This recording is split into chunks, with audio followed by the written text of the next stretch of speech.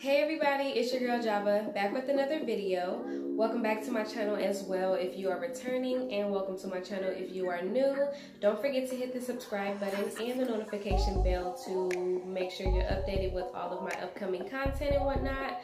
Um, so what I have to show you guys is just this makeup look. I'm going to be sharing this fall makeup look that I did on myself today. I basically just kind of like went with the flow.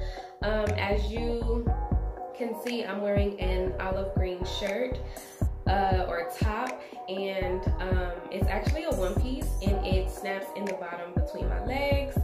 Um, and then I'm going to be wearing some high waist jeans with this as well. And then I'm going to pair some neutral, natural um, color accessories and whatnot to this makeup look. So I kind of have an idea of what I'm going to be wearing with this um, as far as like shoes and my bag, just brown.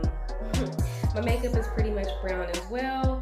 So I'm gonna show you guys how I got this look. Oh, by the way, I am wearing my scarf again. This time I have it tied in the back and just down with the rest of the hair um, because I wanted to do something different. I didn't really want to wear it in a knot like how I did in my last video.